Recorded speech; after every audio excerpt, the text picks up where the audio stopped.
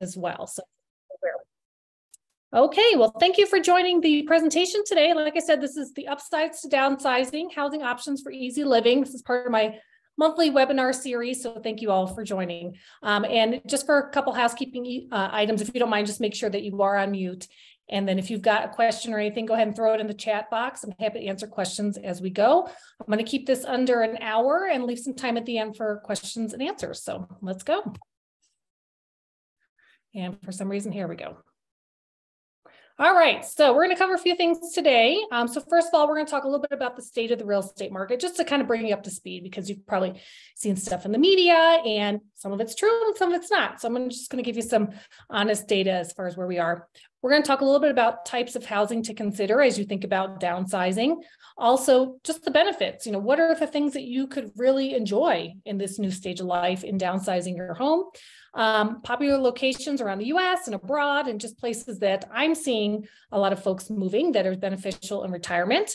And then the last thing we're going to cover today is how to get your home ready to sell. So as you're looking at downsizing and moving out of a house you might have lived in for many years and raised a family can feel kind of daunting. So we're going to just talk about how to take that elephant one bite at a time and make it a little bit easier for you. So, okay.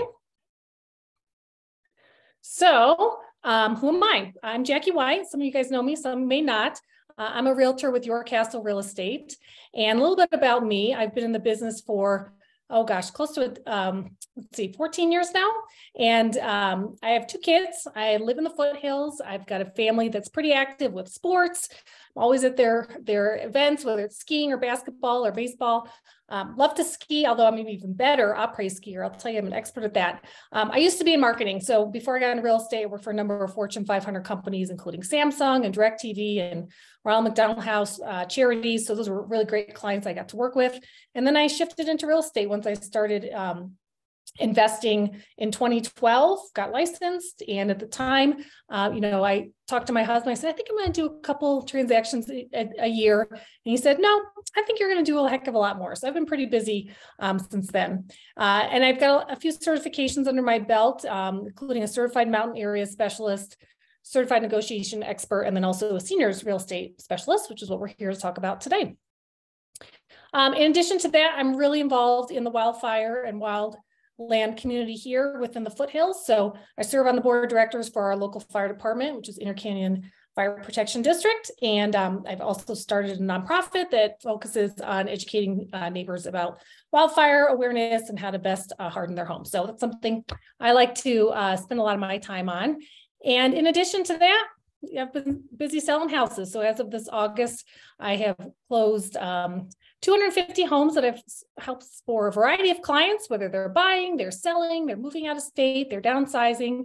Uh, and actually, many of them are seniors who are going through uh, this big change in their life. So I've been very fortunate to be able to work with all of them and get some recognition along the way, which is great. So, and this is my husband here. So, all right, well, let's dig into what you're here for, which is what's happening in the real estate market and how's that going to impact you if you're thinking about downsizing into a new home. So sure you've read some stuff in the media about the real estate market and keep in mind that a lot of times as with anything anything that's sensationalized is what's going to get attention. As we we say if it bleeds it leads right? So of course there's always some sort of negative spin when you look at what's um, in the media. So what you ought to consider really is what the facts are. And that's what we're going to talk a little bit about today. So, the last two years, the real estate market has been a huge frenzy. So, since the beginning of the pandemic in early 2020, homes were selling very, very quickly. A lot of it was driven by very low interest rates, people being cooped up in their houses and looking for a new environment and having the opportunity to move because they could work from home. And uh, we now are starting to pull back from that environment and some of that is um, being driven again by interest rates that have climbed up from the sub three interest rates that we were seeing. And um, also, you know, we're just kind of leveling back out to more normal conditions. So anytime there's a change in the real estate market, it present, presents some sort of opportunity for someone. It's just a matter of for whom. And so it's never anything to be scared about. It's just a matter of who's the opportunities um, that they can take advantage of at the time. So I want to share a little bit of data. I hope you guys are okay with me being kind of a data nerd. Um, but our brokerage here at Your Castle Real Estate puts together some of these charts. Um, we go through them every quarter and I watch them like a hawk because I think it really provides some good insights to buyers and sellers and investors as they're considering what their next real estate move is. So we've got a ton of data. I could go on for hours about this, but I pulled out a few charts that really um, have the most impact as far as what we're experiencing today.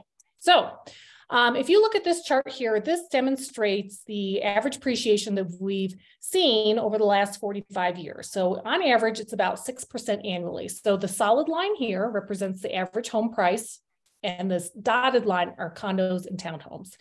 So the y-axis here shows the average price and we've got time starting in the early 70s through today. And, you know, looking back here, you could see that you could buy a house for less than the price of a car today. And we are at a point where we are seeing average home prices kissing 800,000. So there is a little bit of some prediction as to what we might expect over the last couple years. And while this number is dipping, I want to also caution to not be frightened by that. What we're seeing, honestly, I think, is a, a change in the product of homes that we're selling. So we had a lot of luxury homes selling uh, because people had the, the, means and they could get really low interest rates. And as that uh, shift of inventory goes more towards first time homer owners or maybe trade up buyers, um, the product mix changes. So it's not that we're selling any less homes or that um, the price point is decreasing, it's just the product mix. So imagine you own a car dealership and you sell a lot of Porsches one year. Well, boy, your book of business is going to look really great. But then maybe the next year you sell a lot of Toyota Corollas, right?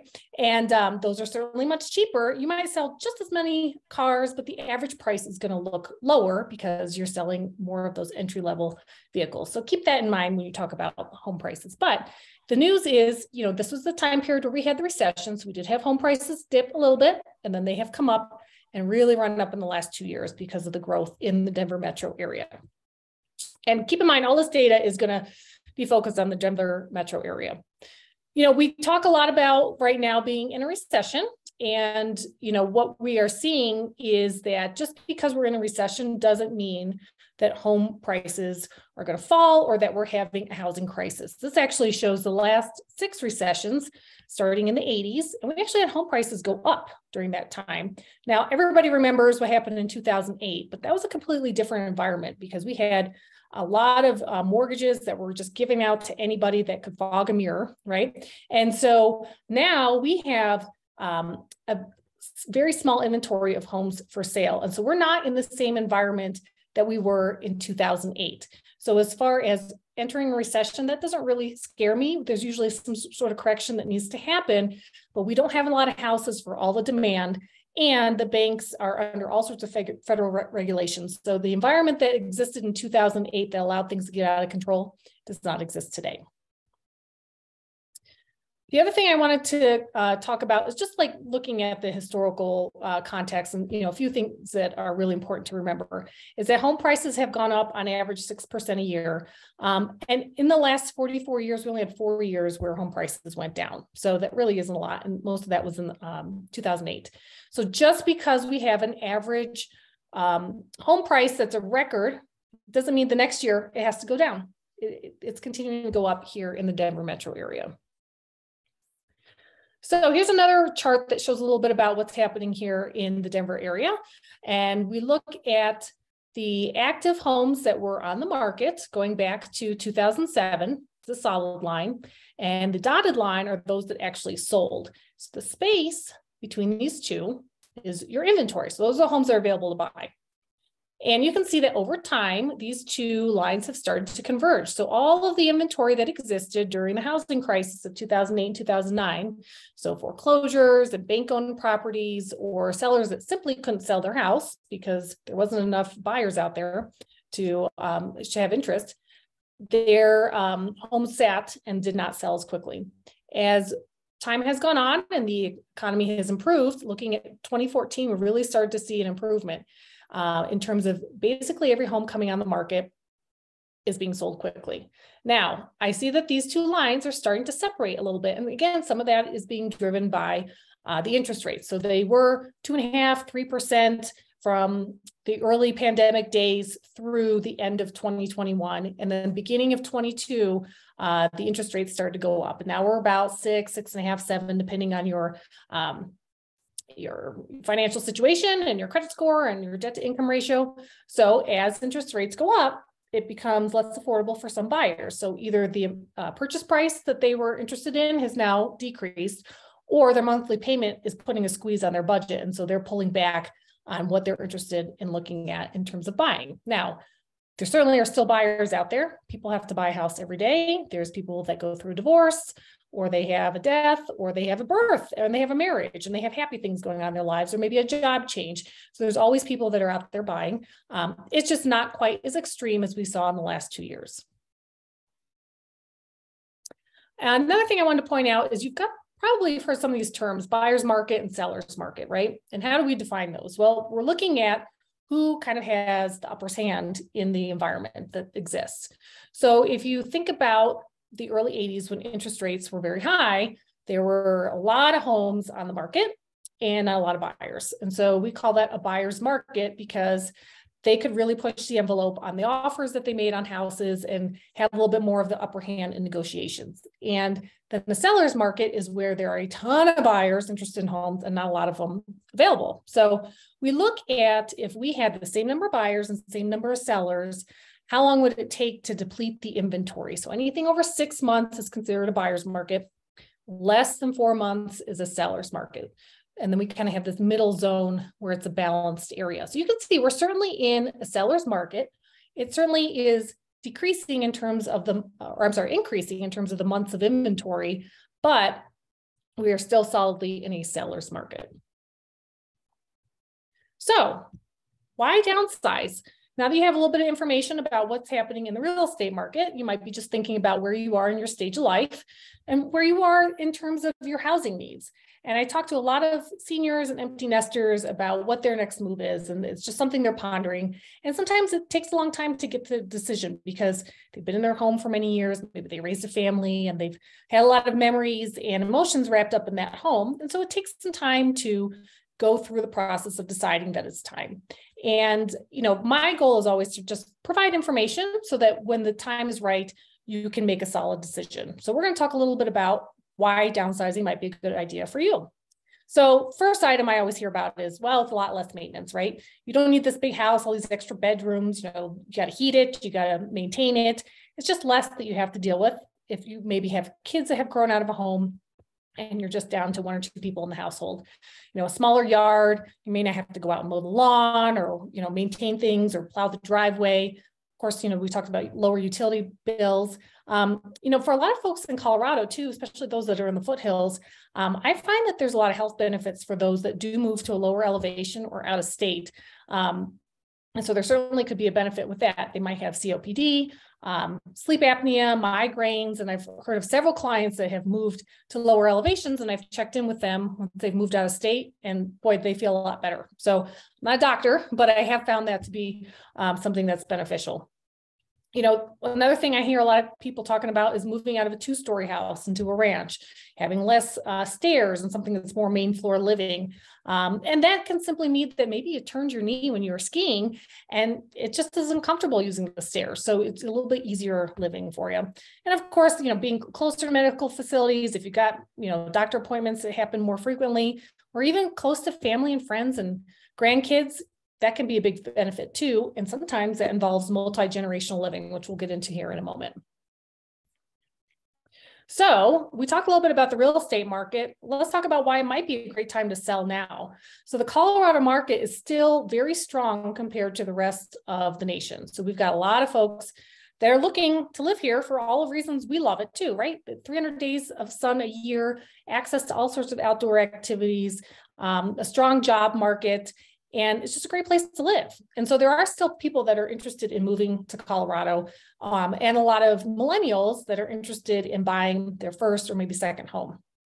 So, looking at the demographics of the Denver metro area, millennials make up the largest segment of our population, and they've all hit a median age of 30. And with that milestone birthday, tends to drive um, some big life changes, whether that's thinking about getting married, starting a family, or just simply not renting anymore. And those are driving housing purchases. So we still have a lot of demand with all these millennials who are now looking at buying homes. Now, the market is becoming a little bit more balanced. So I've had a lot of uh, empty nesters and retirees in the last couple of years say, gosh, I can't handle the stress of you know making an offer in this environment where there's people competing for a house and I'm going to have to offer a heck of a lot more than what the buyer or the seller is asking for.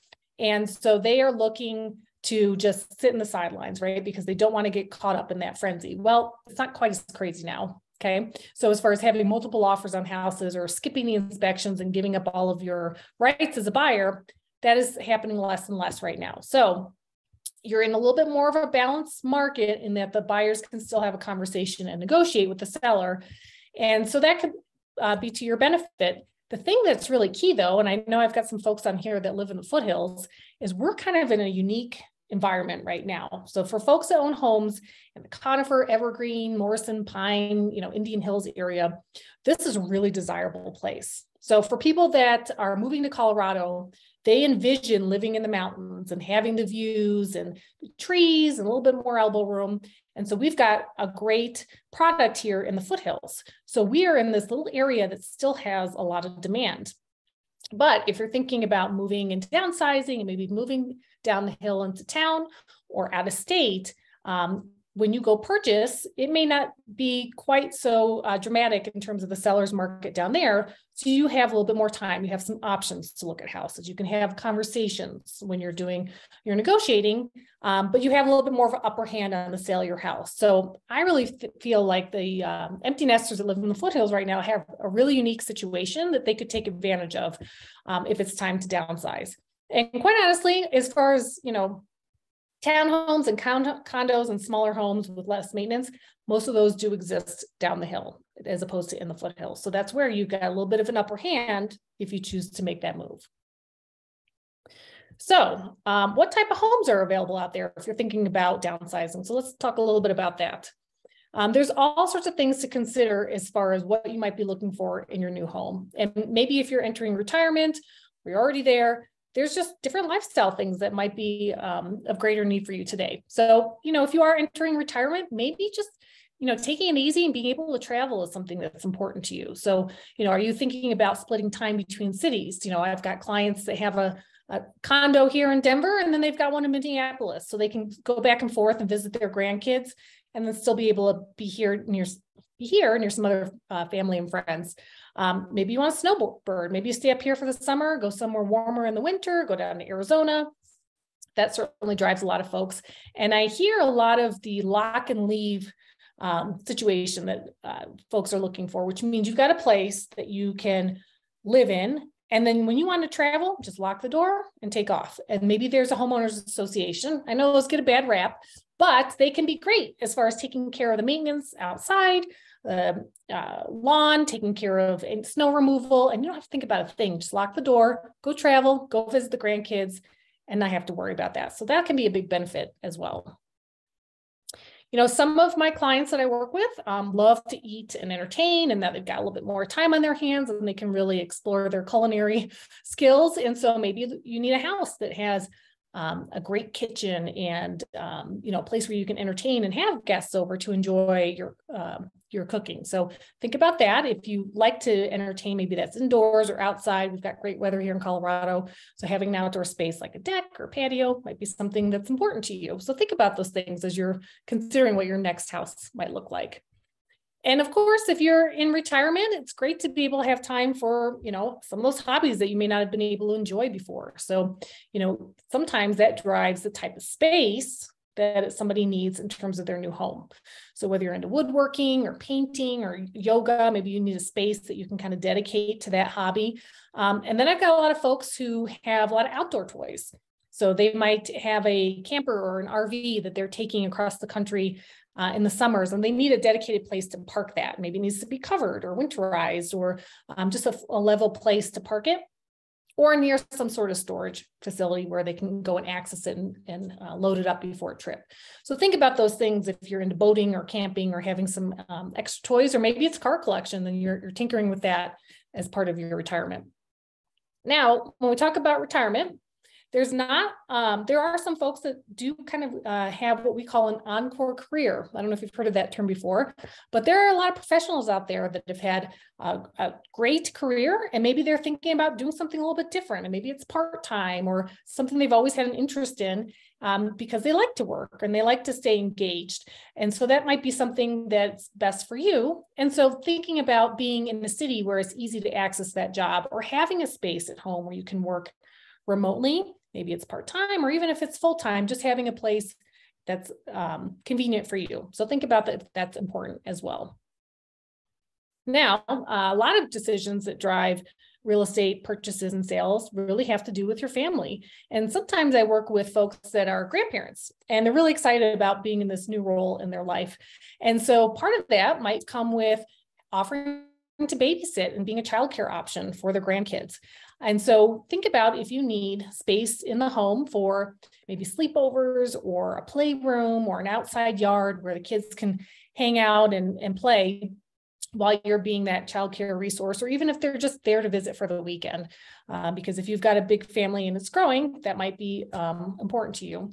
And then keep in mind that multi generational living is something that is becoming more popular as well. And so that might be something where you've got multiple generations under one roof. You might be there with your kids and maybe grandkids as well. Part of multi generational living is really having a space for everybody either under one roof or all on the same property. So it could be a duplex, which is two homes next to each other. You might share a wall, you might have one family next to you and then you're, you're living right here and you can be near each other but you have a little bit of space and that can be convenient. Um, many people have heard about mother-in-law suites so this could be a little area that's in the lower level or upstairs or somewhere that's like an apartment within the house. Um, so I've had folks that need that for 100% of the time for mom and dad to live with them, or they anticipate that they might need that for their um, aging parents as well. And so they know that they've got this large unfinished basement or area that they can convert if they feel like their parents might need to move in as well. Or maybe they are having mom and dad come and visit or a few months out of the year. So it's good to have that space available.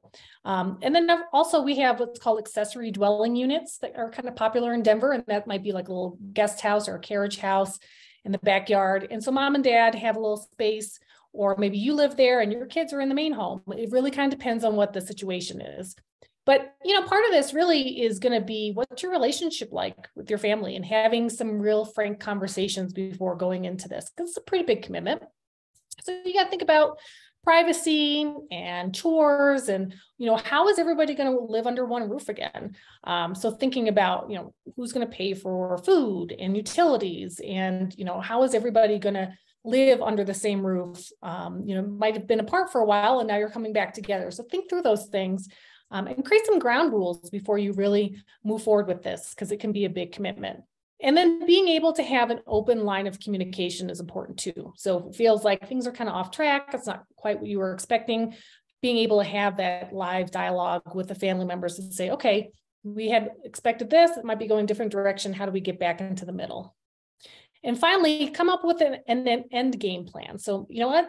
Maybe everybody goes in with the best intentions and something changes. It doesn't work out living under one roof, or maybe somebody's got to move for a job change, or there's some sort of dynamic that might have everybody separate again. So, coming up with that game plan ahead of time can relieve a lot of stress um, and figuring out how to also exit financially as well. So, you know, as you're looking at what your next house might be, you might also think about what do you like to do? Do you like to really be active? Um, there's a lot of active adult communities here in uh, the Front Range. We call those 55 plus or age restricted communities. And it's a great way to be among your peers. And if you're really social and you want to be around um, some folks your age or be able to uh, meet new friends in a new environment, easily, these 55 plus communities can be a great option for you. And typically they're what we call deed restricted, which means that only folks that are 55 and older can live in that area. So you're pretty much assured that you're going to have um, folks that are your peers living in there. And they typically come with a lot of activities and events. So keeping everybody really engaged so you can meet each other um, because you might have lived in another neighborhood that was very family oriented and now you're in this new stage of life. And so everybody is looking to um, meet each other and engage. So there's quite a few 55 plus communities in Denver. I'm going to share a couple of them you, uh, with you here, but there are plenty of them out there. But I pulled just a few that are, um, you know, quite popular. So the first one is Anthem Ranch. It's in Broomfield, Colorado, so just kind of northwest of Denver. Um, the price point there of homes is about 600,000 to about 1.4 million. So it's really going to dep- depend on if you're in a duplex or paired home or in a single family home. Uh, and then they also have a variety of sizes. So, you know, we can see here, this a little bit more of a smaller downsized home. This might be more of a ranch, um, but still is smaller yard, less to maintain. Uh, a lot of those homes were built between 2005 and 2011. And they do have this beautiful rec center um, where they've got all sorts of activities going on. It's called the Aspen Center, and there's pickleball, bourbon tasting. That looked great to me. Um, summer concerts. So there's all sorts of um, activities to engage with your neighbors and the community. Another place that you might have heard of here in Denver is called um, Green Gables Reserve. So this is just off of Wadsworth in the Lakewood area. I've helped some clients purchase in this community, and they have um, a 55 plus section of a broader community. So they have duplexes, so you have half of a house, but the way they're oriented, they really kind of live like a single family home. You don't really know that you're attached. Um, so those folks are kind of in one little gated area, and then you've got some townhomes, you've got single family homes, you've got a variety of um, backgrounds uh, and age groups but there is that specific 55 plus area. Um, and so Green Gables Reserve used to be a beautiful um, golf course, and then they built this community on top of this. The price point for the duplexes, or half, you know, the, half of the duplex um, for these 55 plus area is about uh, the mid 800s, and those homes were built about five, six years ago in 2017. Um, they've got a really beautiful clubhouse with a pool and all sorts of activities. And then they have this um, fishing pond and you'd be shocked. It's right in the middle of Lakewood. Um, so this is beautiful that just provides some uh, access to nature right there in the neighborhood. Uh, and it's adjacent to their um, pool and rec center. And it's super easy to get up Wadsworth. Gosh, it's probably a mile up to Belmar, shopping, dining, all sorts of stuff to do over there too. So it's a good location. And then the last place I wanted to share with you as far as um, 55 plus, again, there's many of these communities here, but just giving you kind of a sampling, is Heritage Eagle Bend, which is in Aurora. And this is a huge community um, that has a large 55 plus uh, contingency. And it is also on a golf course. So the houses really can range from the low I'm sorry, the upper 500s to the low 900s, and they were all built in the early 2000s. Um, but they have a beautiful clubhouse. You can see here they've got pickleball, they've got the pool, they've got all sorts of activities, um, dining, uh, meeting space. They've got bocce ball, pickleball, all sorts of stuff going on. Um, and while it is a golf course community, one of the things I find that some folks are looking for is they don't even play golf, but it's nice to have a little bit of buffer um, between the neighbors. So they've got this green space, and it's really just considered more of a green space for them, not necessarily something they're going to use. But it's, it's nice to know the golf is there if they choose to go down that route in retirement, um, even if they're not a golf enthusiast at the moment. So again, this is Heritage Eagle Bend out in Aurora. So sometimes um, for folks that are looking to downsize, that might be moving out of state. And with the uh, real estate market here in Denver that has appreciated so much, and if you've been in your house for more than five or 10 years, you've seen a lot of appreciation. Um, I find that a lot of the empty nesters and retirees that I work with have a ton of equity. And so by selling their home, they're able to capture that and then go buy a new home, um, essentially for cash out of state in a variety of different markets. And that's a big benefit to them because they don't have to think about having a mortgage. Um, sometimes they end up with a little bit of extra money to spend on hobbies or traveling or, or even just decorating the house. So they can find that to be a big benefit. But when you're moving out of state, you know, there's some logistics involved in that. And I found that some folks really benefit from moving to the new place um, and then renting an Airbnb for a while. Get a furnished uh, apartment and take a couple months, explore the area, learn what the new communities are, where you like to be, where are the stores and the dining that you want to have access to um, before you commit to a new house as you explore this new community. Um, and get a referral to a, a, great realtor that lives in that area that really knows the different communities and can kind of point you in the right direction based on your interests. Uh, as we discussed earlier, lower elevation can be easier on some people's health. So moving out of state does have that benefit for some. Now you'll want to do some research because there's some tax benefits in moving to certain states. Um, Delaware, um, I have found in a Kiplinger study is number one. Uh, apparently there's, you know, no sales tax, low property taxes, and no death taxes. So if you're thinking about estate planning, that can be a big benefit. And actually Colorado, I looked up was number seven. So we've got property taxes that are the third lowest in the US um, and no state estate or inheritance taxes. So we do have some higher than average um, local sales taxes, but there's some trade-offs there.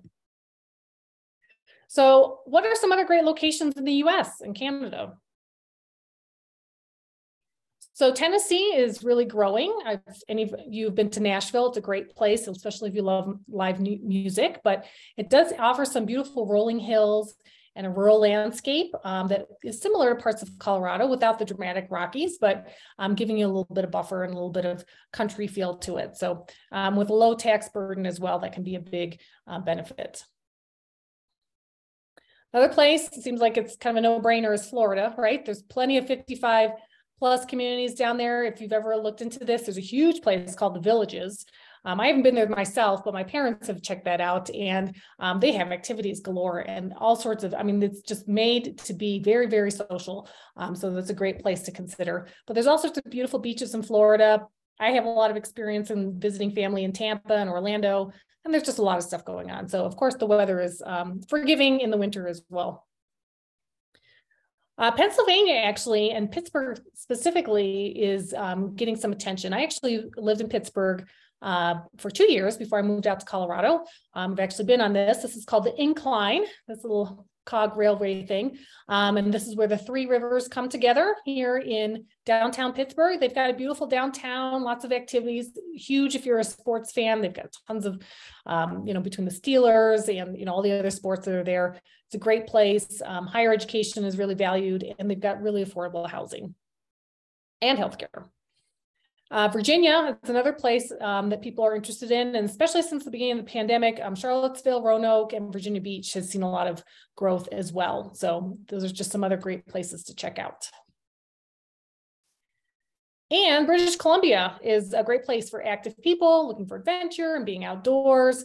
So looking at the Pacific Northwest might be another option for you. And then I've actually had some friends that have looked abroad. Um, I've got one friend in particular that is uh, planning what her retirement is going to look like. And one of the places she checked out was Panama. And so it's got a mild climate, uh, their uh, infrastructure has been updated, and there's just a lot of access to beaches. So that's a really great place. And I know she felt pretty safe when she was down there. So that might be a cool place to check out being close to Mexico, many of you may have taken a vacation there once or twice and not even thought about living there permanently, but it actually has a pretty um, thriving expat community where there's a lot of Americans that are moving down there. So um, outside of Cancun, there's lots of little towns and villages and some places to check out. Um, I actually had the opportunity to go to Cabo in October, and that was a really beautiful place. And there's a ton of growth there too. It almost felt like an Americanized um, Mexico. So it was a great place. It was almost like Mexico and Arizona had a baby, quite honestly, but the beaches were beautiful, a great place to check out.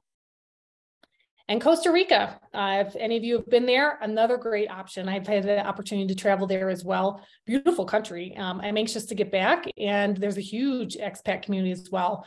Um, you know, close to a million folks that are living there that are from the U.S. So, um, and the culture is super friendly. Um, if you've read the book about the blue zones, which is where you have the highest concentration of octogenarians, um, Costa Rica is on that list and uh, they call it the happiest place on earth. So I'm sure that has something to do with this. So if you want to live to 100, Costa Rica might be your option. And then Portugal uh, is another one uh, that has gotten a lot of attention. And, and the friend I was speaking about earlier, she's actually purchased a place in Portugal. So um, great access to healthcare, um, affordable uh, cost of living, and really easy access to Europe. So as you're traveling, if you want to get out and that's part of your plans for retirement, that's another option too.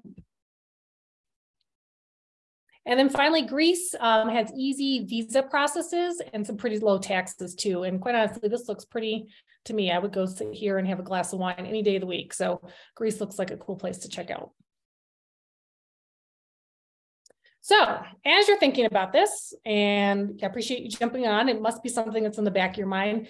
Really, um, you got to think about what your plan is, right? And that can make the process a whole lot easier if you kind of know what the next steps are as you're thinking about moving and downsizing. So First step really is to get some help from a realtor, have that person come over to your home and talk about what your goals are and what the market conditions are doing and get at what we call a comparative market analysis of your home's value. So that's where a realtor will look at recent sales in your neighborhood and in the area and kind of give you a heads up on what your home could be worth if it was on the market.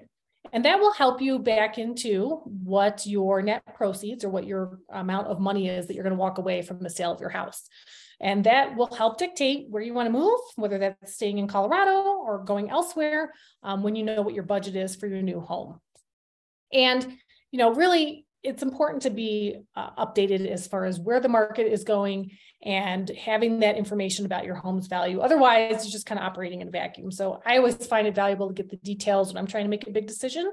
And so I think that's the same thing as far as this process. Just really understanding, you know, what's your house worth? And then what are you going to make off of it and what you can use for the next purchase.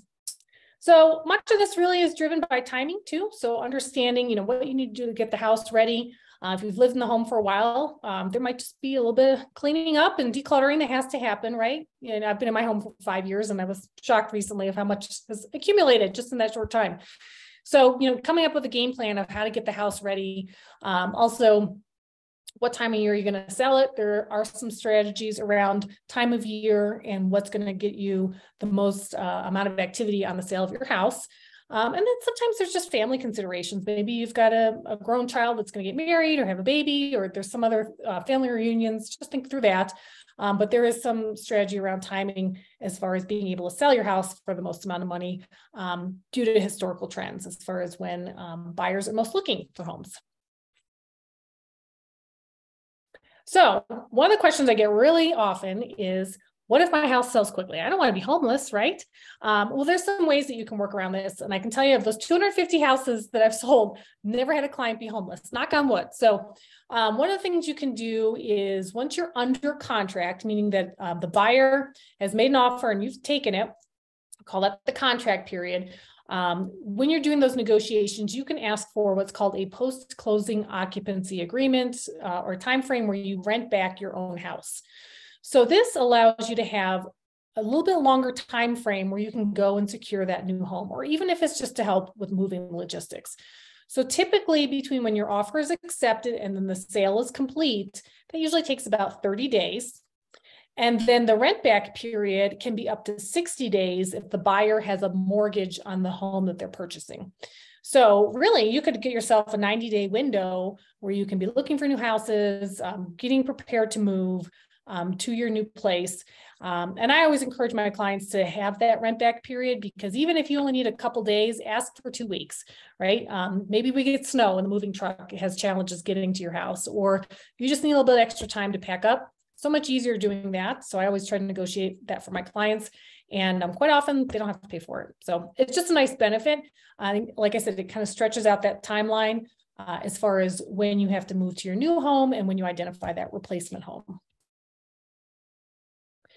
So when you're getting the house ready, you know, there's some stuff that um, is really kind of a no brainer when it comes to getting it ready, but also it's great to have a professional come in and give you some advice on what was going to give you your biggest bang for your buck.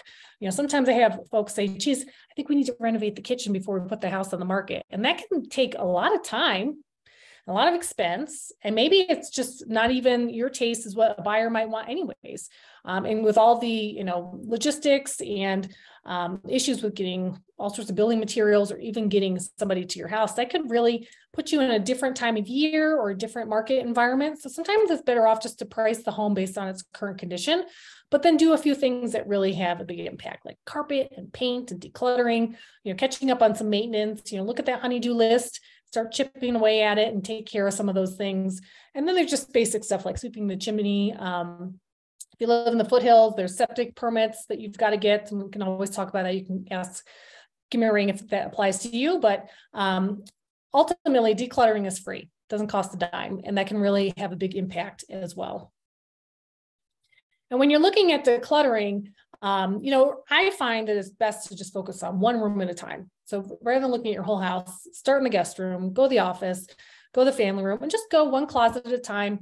There's probably a lot of stuff you've been meaning to get rid of anyways. Um, tossing things, donating it, um, paring down the furniture to make the home feel bigger, and really neutralizing the decor is going to attract the most number of buyers to your house.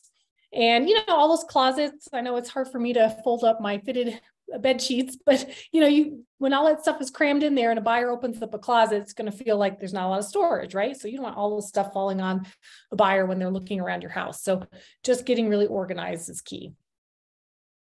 And there's a lot of resources out there to help you along with this too. So there's companies out there called junk haulers. And if you've got stuff, I mean, you've probably seen the commercials, they'll come to your house, you just point at it and it's out of here. Um, you can pile up a bunch of stuff in the garage, they'll come take it and you just pay them a fee and you're not going back and forth to the dump or putting it out the curb for the garbage man to pick it up for weeks on end. It's just out of there, right? Um, the AMVETS is a great uh, organization that will come and take, you know, gently used pieces of furniture or larger items so you don't have to worry about um, getting rid of them. And pickupplease.org is their website. You can um, schedule time, they'll come pick that up. And um, there's some great services out there like professional organizers. I've worked with a few of them. And you know, if it's something where it feels overwhelming to you, they can really help you with that process. Like they literally will put you at a card table or the dining table, and they'll bring one item um, by you at a time, kind of like a conveyor belt. And, and all you have to decide is, do I keep it this? Do I donate it? Am I going to sell it? Or is it out of here? Is it going to the dump? Right. And then they go to the next item. Okay, keep, donate, sell, or toss. And that's all you got to do. And because I know for me, when I've gone through my stuff, when I've moved, um, you get kind of caught up like, oh gosh, look at these photo albums, or I forgot about this thing. Where'd that come from? And you just, it slows down the process. But when you've got someone that's helping you and then can move things out, um, keep you on track, it can be really helpful. And the last thing I put in here is don't become a storage unit for the family, right? So if you've got those grown kids, they have their yearbooks from high school or they've got some of their stuffed animals and the stuff. You don't even know if they want it. Have them make a decision and they either take it or it's gone right? Because i know there's a lot of folks out there who are saving all of their kids things that they needed a place to uh, store it and might be time for that to move on. So ultimately the thing that i think is going to lead to the best success as, as far as what i've seen for my clients is really make decisions while you're in control. So that's my best advice to any of my clients that are thinking about downsizing because I've seen this with family members and clients, and it can be hard to think about moving. You've lived in your house for a long time, you've got memories, um, you're in this community, but maybe it's the stage in your life where it's time. Um, and it can take a little bit of time to come to that decision, but it's your decision. The last thing you want to do is get in a place where financially or physically with health, you can't make that decision and it's forced upon you, or family members are making it for you. And that's not a great place to be in. So when you think that it's time and you're thinking about downsizing, again, the, the most important advice I can give is make that decision while you're in control and it's your decision and no one's making it for you. So um, with that, um, that is the end of our presentation here, and I'm happy to answer any questions if anybody wants to throw them in the chat. We've got a little bit of time. So feel free to type something in. I'd be happy to answer any questions. I'll hang out here for a few moments. Other than that, I appreciate you reaching out. And if you have any questions um, or you're looking at maybe moving yourself with like a market analysis on your home's value, happy to do that for you. It's complimentary, no charge. Just want to offer some information to help you make decisions. And um, when you have time, feel free to follow me on Facebook or LinkedIn. And I've got a website with a lot of videos um, that will give you some tips on what it's like to move and sell your house and buy a new one. So um, great resource there. Other than that, I'm happy to hang on. If anybody has any questions, feel free to go to the chat and type away, and um, I will be happy to answer those for you. So I've got a question here. How big was your sample size in the chart that showed prices coming down? So um, I imagine you were talking about one of the charts here. Let me go back to the beginning. I think this question is for Mike. Uh, is this the chart that you were asking about? And feel free to unmute yourself if you like. Um, yeah, that's it, Jackie. And um, sorry, I just want to just make sure I clarify because I don't know if I was yeah. very clear. Um, So what Charles and I were talking about is that you talked a little bit about how this chart shows prices coming down, but that that can be deceiving because it could be mixed. It could be that a lot of houses, a lot of properties that are lower priced are selling than they were before. It doesn't necessarily mean that prices are coming down. So the reason why I asked about sample size is because I was saying to him that at a certain point, you might have such a big sample size that it may not be much of a factor, the, the mm-hmm. mix. So I was just curious, you know, in this chart, if you have so many houses that may not be an issue, or do you think it, it really is a factor? Yeah. So we sell about 100,000 homes in the Denver metro area a year. So that's kind of the, the sample size. So these, this data covers the Denver metro area on the front range, not all of Colorado or nationally. So um, I think that's a great point. As far as the percentage, I don't have that number off the top of my head as far as how many fall in that luxury category versus more entry level homes. Um, but we have seen some uh, change in terms of we did have a lot of luxury homes that were selling. Um, but again, if that product mix changes, which we anticipate could be the case with you know higher interest rates, it's going to um, depress people's budgets, and so they're going to look at lower priced homes. Um, that could again be the product mix that's going to impact what the average price is if we get more entry level homes, or maybe that that first trade up as opposed to like that third or fourth home someone might move into. So I don't have the actual number, but um, as far as the sample size, we'd be looking at the front range, of Denver. Okay, no, that's helpful. And you know, as you know, I'm in another city. I'm in Boston, and I think what we have going on here is very similar. And I always struggle with, and and people in general struggle with. Okay, do we really think prices are going down, or um, you know, there's multiple things going on as you just as you just addressed. So, but I think what we Charles actually said to me, what do you think this chart would look like for Boston? And I think it'll look pretty similar as well as some of your other ones. Mm-hmm. Well, the other thing that we have seen, and I guess I like analogies, my best analogy on this is that the last two years, we had interest rates that were really low, two and a half, three percent. I mean, very, very consistently for 18 months. I was seeing clients purchase um, at those rates. And I purchased a home myself in that time frame, and it was at two and a half percent, which is amazing. Um, but we were because those interest rates were so low, um, people were getting a premium on the sale of their house. So imagine you're at an ice cream shop and you go in and you get a bowl of ice cream and the person that was in front of you in line got all the toppings and that's like that premium of the home uh, sale. So the whipped cream and the chocolate syrup and the cherry on top they got all of that because you know the interest rates were low right? Now you're the next person in line you're selling your house today. Well all you're going to get is just that bowl of ice cream which is pretty good. I like ice cream. But um, now we're selling it more what the homes are worth, and people were just selling their homes well above. And that icing on the cake or that, you know, all the toppings on the ice cream, that really was due to the interest rates being so low. So while the premium is going to be removed because our interest rates are more closer to the 40 year average, that's where it also might look like home prices are dipping, but it's that premium that has gone away. Hope that makes sense. Yep, that does. Thank you. Yeah. Any other questions? Feel free to unmute yourself or throw it in the chat. I'm happy to hang on here for a couple more minutes.